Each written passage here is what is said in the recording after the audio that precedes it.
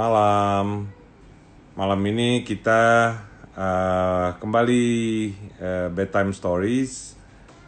Nah malam ini kita ada uh, apa? Ada bintang tamu, bintang tamunya sutra eh produser sutradara um, semuanya deh uh, kondang uh, Mira Lesmana dan sudah hadir.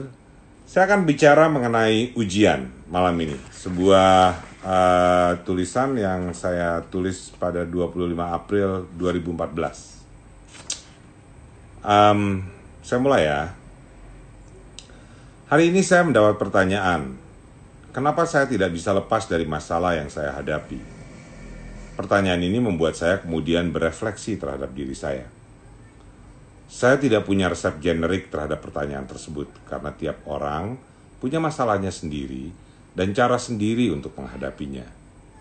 Hanya saja, saya teringat beberapa episode berat yang hadir dalam hidup saya, dan mungkin saya bisa berbagi cerita tentang itu.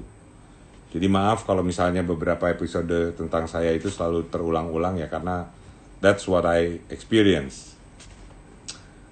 Masalah hidup sering kali hadir sebagai ujian bagi kita. Hanya orang yang lulus ujian yang akan naik kelas dalam tingkat keimanannya dan kapabilitasnya menghadapi masalah. Orang yang tidak lulus ujian tidak akan akan terus berputar-putar terus dengan masalah yang sama. Tanda lulus dari ujian adalah kita menjadi lebih kuat dan lebih siap menghadapi ujian yang baru. Namun, hal ini tidak berarti bahwa hidup selalu miserable atau susah setelah episode saya tidak bisa berjalan lagi tahun 1987 itu, saya pikir saya bisa menghadapi ujian apa pun sesudahnya. I was totally wrong. Tahun 1994, saya didiagnosis bahwa kanker limfoma saya relapse. Reaksi pertama saya adalah lari dari kenyataan. Saya tidak mau menerima kenyataan bahwa saya sakit kanker lagi saya menyangkal semua realitas yang ada. Perlahan, saya mulai pesimistis dan kehilangan pegangan. Kesalahan pertama saya dalam menghadapi ujian adalah reality denial. Ini terjadi pada banyak orang. Penolakan terhadap kenyataan. Dan mulai menjadi pesimis. Padahal, untuk bisa menyelesaikan masalah dan ujian hidup, menjadi pesimis bukanlah sebuah opsi Ketika pesimisme mulai tumbuh, keyakinan diri dan confidence mulai menguap. Saya kemudian dihujani rasa takut. Cairan infus kemoterapi itu baru mau dipasang saja sudah membuat saya muntah. Reaksi berantai pesimis, lost confidence, takut membuat saya hidup membuat hidup saya gelap. Semula semua dimulai dari tidak berani menghadapi kenyataan. Keberanian akhirnya muncul saat saya diingatkan tentang Nabi Ibrahim alaihissalam yang seumur hidupnya berhadapan dengan banyak kenyataan yang dia tidak inginkan. Nabi Ibrahim alaihissalam terus diberi ujian agar terus naik kelas. Ujian adalah bagian dari hidup. Ujian adalah kenyataan. Tak perlu dielakkan, tak perlu ditakuti. Saya protes kepada Tuhan. Kalau ujian terus, kapan bisa hidup enaknya? udah nggak bisa jalan, harus kemo, botak pula. Come on God, teriak saya waktu itu. Saya salah lagi. Seperti juga ujian, kebahagiaan tiap orang tidak sama. Bahagia itu adanya dalam hati, dalam rasa. Tak perlu menjadi seperti orang lain agar bisa menjadi bahagia. Then I started to fight. Menghadapi kenyataan, mengaku susah pada Tuhan, dan minta dikuatkan hati, dilapangkan pikiran. Seketika itu juga hal-hal yang tadinya biasa, keluarga, teman, obat, dokter, dan sebagainya, menjelma menjadi senjata dan bala bantuan untuk menghadapi ujian. Tidak ada ujian yang tidak disiapkan bantuannya oleh Tuhan. Masalahnya, sering kali hati kita tertutup oleh rasa pesimis tersebut. Ketika pesimisme dan ketakutan mulai diperangi, saat itulah kebahagiaan datang dalam bentuk-bentuk yang tak terpikirkan sebelumnya. Saat itulah kemoterapi dan mual muntah bisa dihadapi sambil tertawa karena ada yang membawakan nasi padang dan gulai babat. Saat itulah diculik teman dari rumah sakit untuk jalan-jalan ke mall dan ke taman lawang bisa jadi obat kebosanan berbulan-bulan di rumah sakit dan memberikan rasa bahagia yang luar biasa. Saat itu pula memakai bandana untuk menutupi botak kemoterapi malah membuat merasa jadi keren dan memberi rasa percaya diri untuk cari kerja. Sebagai catatan, saya mendapatkan pekerjaan saya pertama masih dengan kepala diikat oleh bandana. Saya teruskan ya. Kebahagiaan itu adanya di hati, didatangkan oleh Sang Pencipta. Hati yang tertutup pesimisme dan dengki tidak akan pernah tersentuh oleh kebahagiaan. Lalu saya pernah kena ujian lagi saat kerja. Kali ini karir saya mandek selama tiga tahun. Saya menyalahkan semua hal, semua orang. Saya merasa saya sudah jago, telah menjalankan semua teori kerja, telah belajar, telah ini, telah itu. Saya tidak terima karir saya mandek. Then I was denying reality again. Blaming others again. Hati saya tertutup oleh arogansi dan iri. I was wrong again. Saya merasa tidak bahagia saat orang lain tidak punya mobil dan rumah, sementara saya punya. Saya tidak merasa bahagia saat orang lain tidak punya kerja dan uang, sementara saya punya. Saya bermasalah dengan keinginan yang tidak tercapai, dengan kenyataan yang tidak sesuai. Hati saya susah pada saat fisik saya tidak susah. Saya lupa bahwa ujian datang dengan bentuk yang berbeda-beda. Kurang berani, kurang makanan, kurang harta, kurang teman, kurang produktivitas. Itu adalah bentuk-bentuk ujian.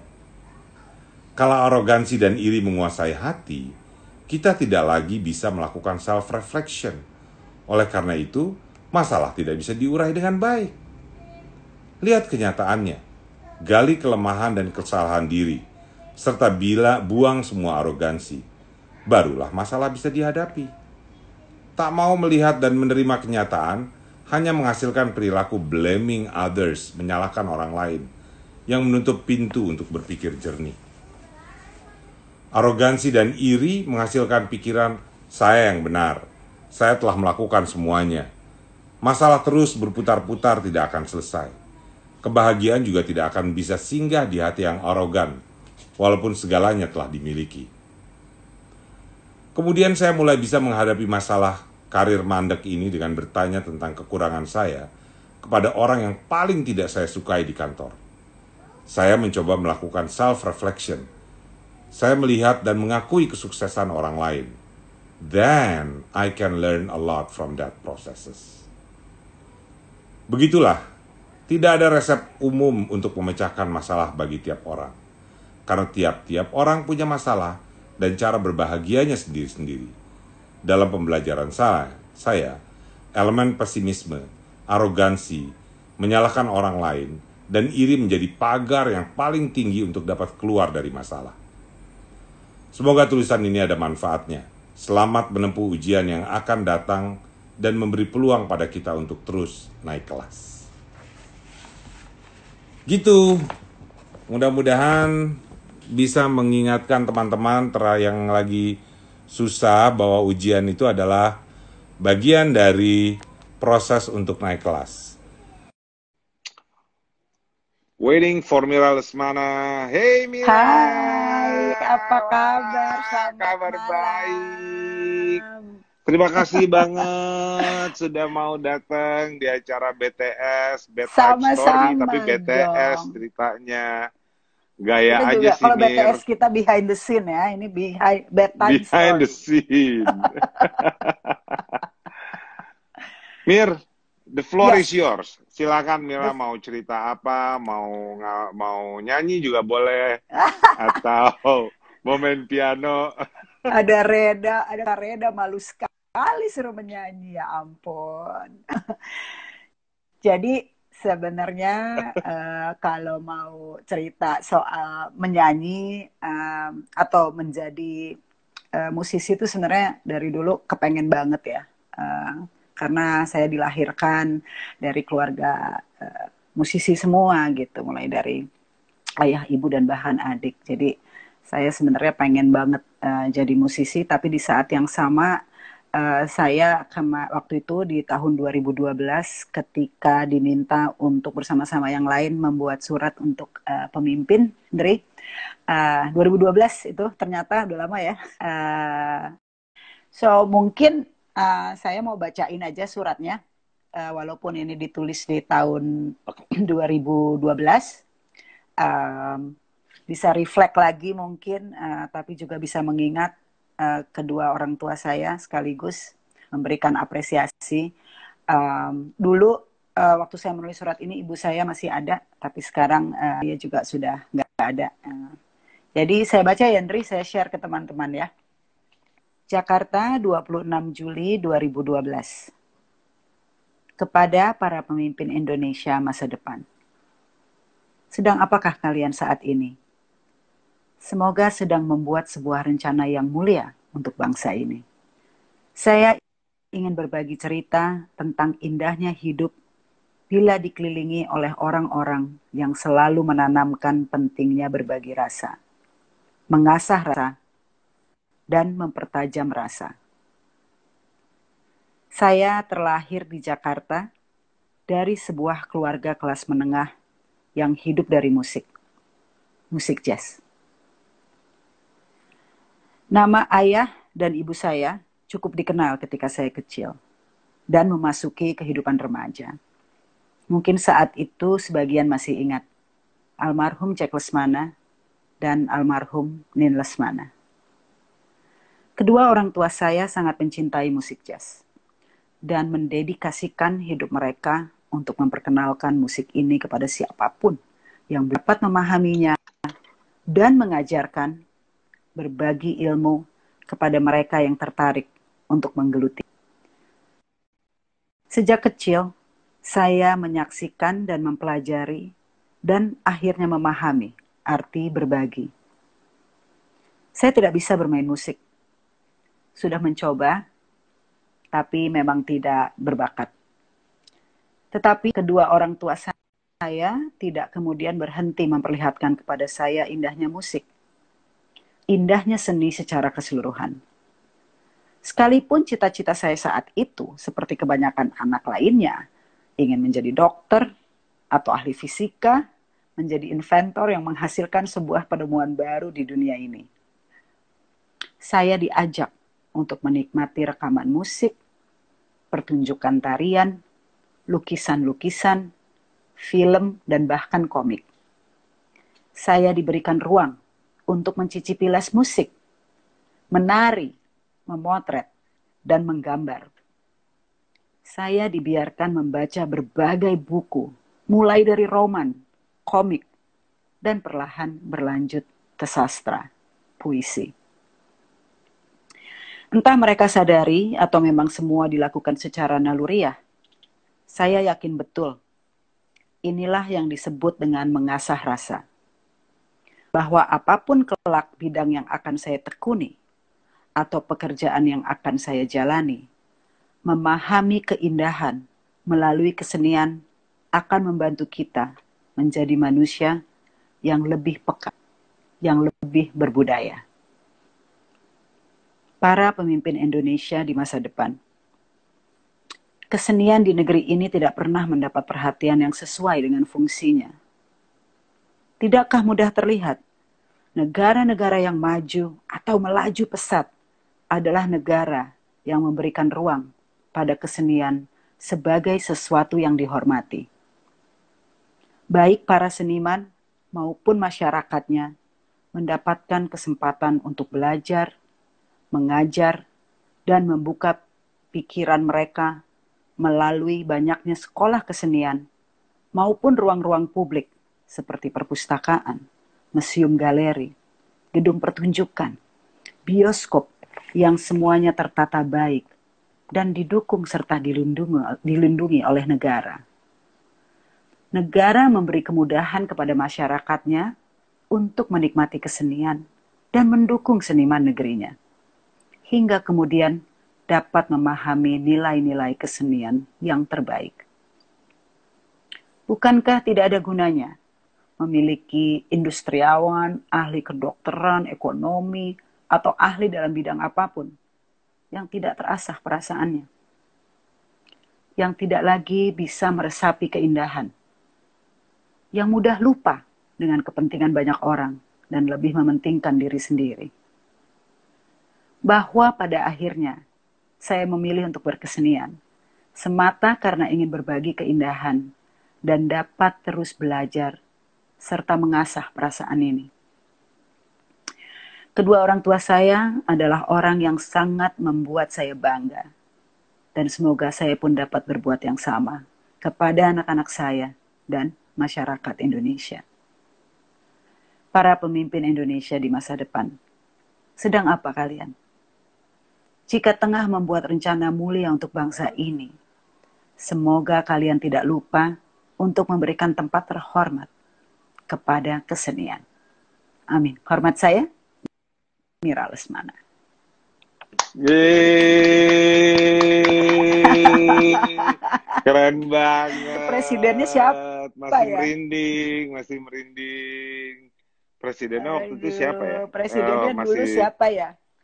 Masih masih SBY. SBY. Iya. so, Apakah sudah ada perubahan? Hmm.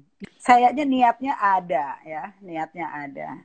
Tapi memang selalu saja ada hal-hal lain yang kemudian lebih menjadi prioritas gitu. Uh, typical.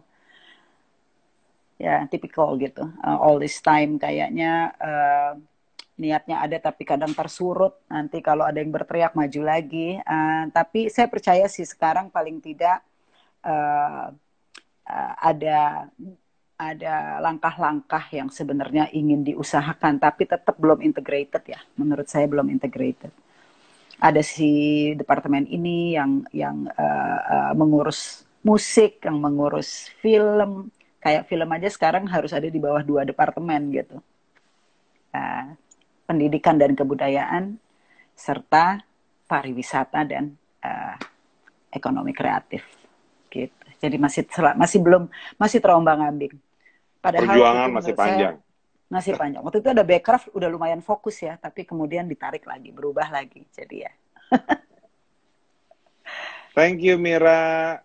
Thank you, Eh, aku mau dengerin Reda menyanyi. Iya, Kak Reda punya lagu yang aku request dari Siap. tahun tahun 70-an eh, lagunya Elton John. Nggak tahu jadi mau dinyanyiin apa enggak. Yeay. Kita dengerin. Baik. Thank you banget ya, Mir. Aku dengerin ya. Aku Thank you, bye-bye. ya. Iya, Dah. bye. Kak Reda, where are you? Keren banget ya Mira ya. Aku dengerin beda sih emang kalau cara bacanya. Eh, dengerin Mira baca langsung merinding. Um, nah, here we go. Reda Here we go. Gaudiamo, Gaudiamo. Hadi Santiago, Hadi Santiago. Satriago. Cocok juga buat. Italia. Cocok juga, cocok. Cocok, cocok. mungkin kita ada darah-darah Italinya. Nih. Santiago. Sesudah kehilangan Kareda dua malam. Ben. Ah, bene, bene. Aku tuh Nah. mau ini, mau mengaku dosa dulu sebenarnya. Oke, oke. Tahu oke, nggak oke. sih, sebelum lo request ini, gue tuh sebenarnya nggak pernah tahu ya lagunya itu depannya kayak gimana. Percaya nggak sih lo? Kacau banget ya. Gue cuman tahu Refnya doang ya? refrennya dong. So goodbye ya lo break road gitu. Tahu-tahu pas mak, oh lagunya depannya itu.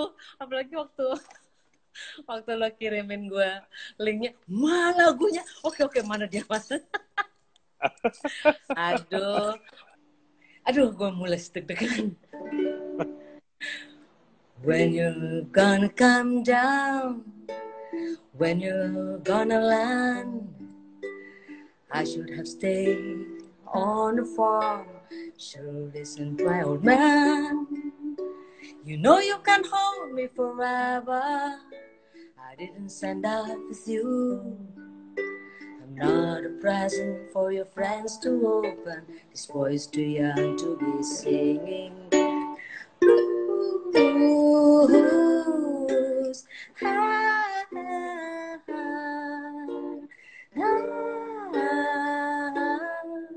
So goodbye, yellow brick road, where the dogs of society howl.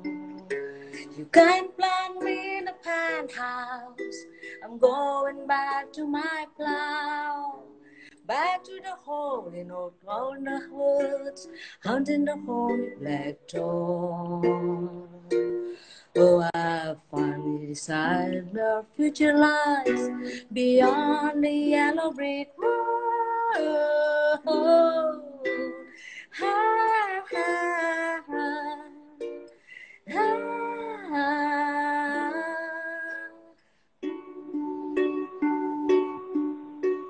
What do you think you do then?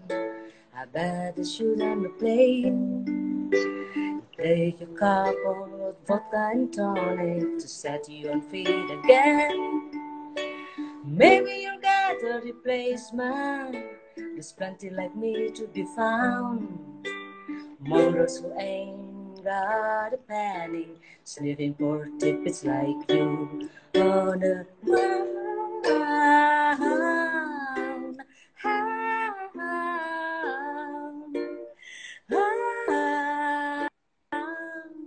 So goodbye, hello brick road, where the dogs of society howl. Can't plant me in a penthouse. I'm going back to my plow. Back to the in old round the woods, hunting the holy black twice. Oh, I finally decided my future lies beyond the yellow road.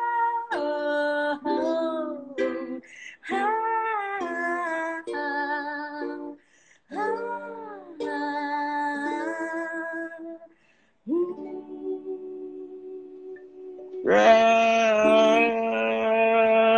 thank you banget. Itu lagunya Elton John.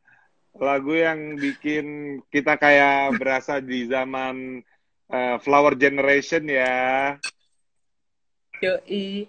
Jadi em, gara tapi gue seneng banget sih sebenarnya dengan acara BTS kita ini karena gue jadi kenal lagu-lagu yang yang selama ini gue takuti gitu ya. gue gue tahu banget Elton itu lagunya nggak pernah nggak pernah kuncinya satu. Dia pasti di Melintir. tengah-tengah ke mana ke mana ke mana gitu kan, pindah-pindah. Dari dulu tuh gue yang nggak nggak nggak mau lagu itu. Your song aja yang segampang itu tuh, waduh tengah-tengah ada.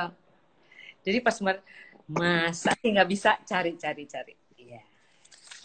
Gitu. Yeay! Makasih ya. Yeay!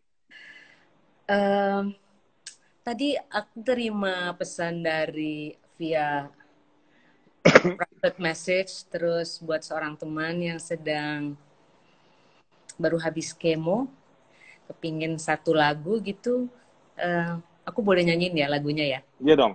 Iya dong. Ya. ini lagu lama banget gue tahu lagu ini zaman SMA SMA gue ya lu kebayang lah ya berarti.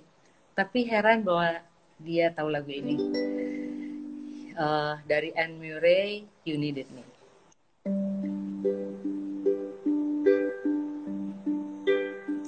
I cried a tear. You wiped it dry. I was confused.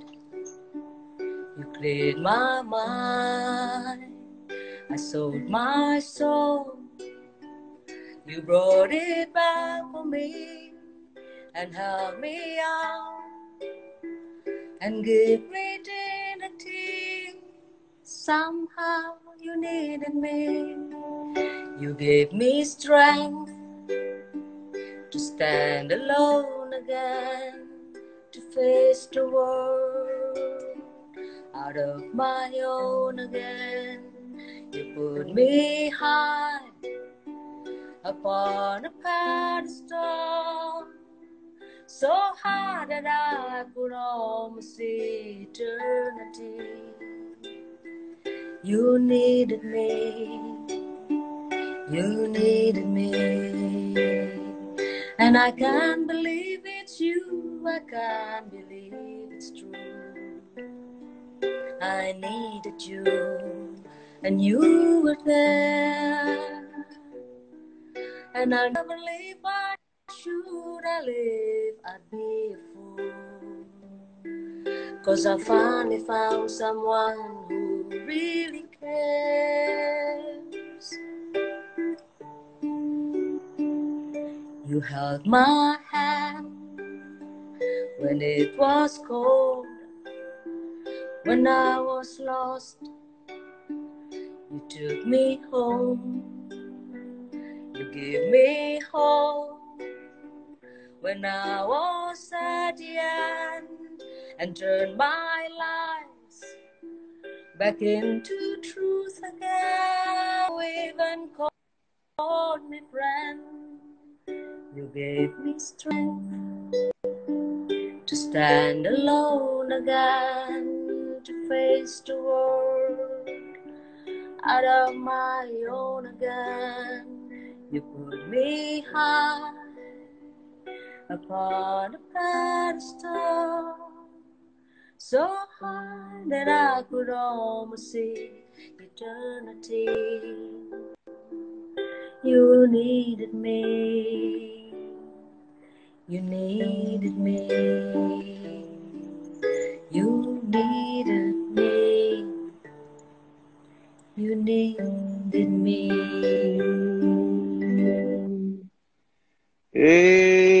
Thank you. Buat Catherine, cepat sembuh ya Catherine. Cepat sembuh Catherine, semangat terus Semangat, semangat saya. dengan apa pun yang terjadi karena selalu ada kebahagiaan di balik itu semua. Nah, eh mau nutup? Kareda Ayo. atau mau ada cerita? Hmm, kita cerita apa ya? Saya cuma kepingin berbagi sedikit tentang tentang tamu kita tadi. Jadi pada suatu waktu pada suatu kali saya berkenalan dengan saya punya kakak kelas namanya Ersinta Suyoso yang kemudian mengajak saya main rumah em, berarti ke rumah apa tuh? Ponakannya. Ayo main ke rumah ponakannya. Ternyata ponakannya itu adalah Mira Lesmana dan eh, Indra Lesmana. Wah, saya tuh terstruck banget dan nggak ngomong apa-apa, cuman memandangi keluarga itu dengan penuh kekaguman gitu. Gila banget gitu. Terus kemudian pada satu hari saya melamar kerjaan di oh, saya nyanyi-nyanyi sama Ari. Eh, tahu-taunya panitianya Mira. Komet eh, musik musik Komet Haley judul acaranya. Wah, terus ngobrol. Nah, waktu itu pertama kali berani negor Mira, terus ngobrol-ngobrol. Kemudian saya lulus kerja dan saya melamar di Lintas, udah diterima sih waktu itu, tapi saya memilih untuk masuk ke agensi yang lain. Pas saya keluar dan saya bilang kepada orang yang Eleanor Modesto waktu itu saya bilang mohon maaf saya nggak nggak jadi kerja di sini saya memilih yang lain. Terima kasih untuk kesempatannya. Pas saya keluar pintu totonya situ ada Mira. Ya tahu ada Mira di situ. Gue terima gue kerja di situ deh. Ngapain lo di sini? Eh lalu kemudian kami kerjasama menyelesaikan banyak sekali iklan. Pons seluruh serial Pons tahun 92, 93, 94 itu bersama Mira dengan Katena. Habis itu ya ketemu dia di berbagai acara. Terakhir ketemu kami ketemu di Makassar Writers Festival. Jadi ini lagu terakhir buat Riri. Mira dong kita. Yuk. Mari, mari. Ya. Look at I'm as helpless as a kitten up a tree. And I feel like I'm clinging to a cloud. I can't understand. I get misty just holding your hand.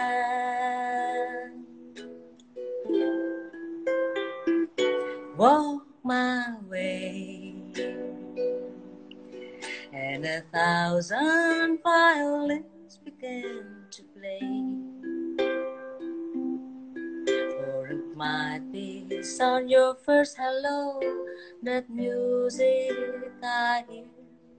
I get misty the moment you need.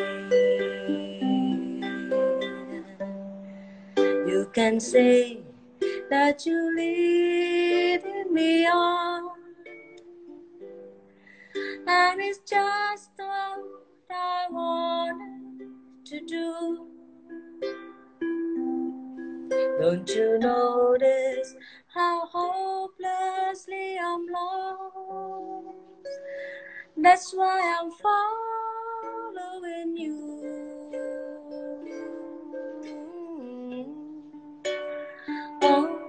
my. Wander through this wonderland alone, never knowing my red food from my lap, my hand for my glove. I'm too misty and too much in love.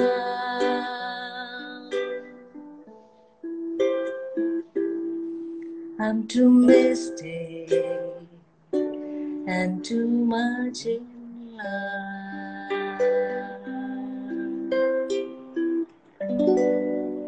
Yeay, itu lagu diminta oleh banyak orang. Akhirnya Kak Reda latihan kita udah jadi kayak radio ya, bisa minta lagu ya.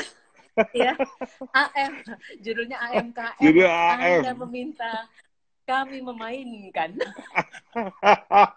Thank you semuanya. Sampai jumpa lagi. Mudah-mudahan tidurnya nyenyak dan ada gunanya acara ini. Kita Lesmana, terima kasih. Kak Reda Gaudiamo, thank you. Adios, teman-teman. Bye. Arrivederci, arrivederci. Arrivederci, arrivederci.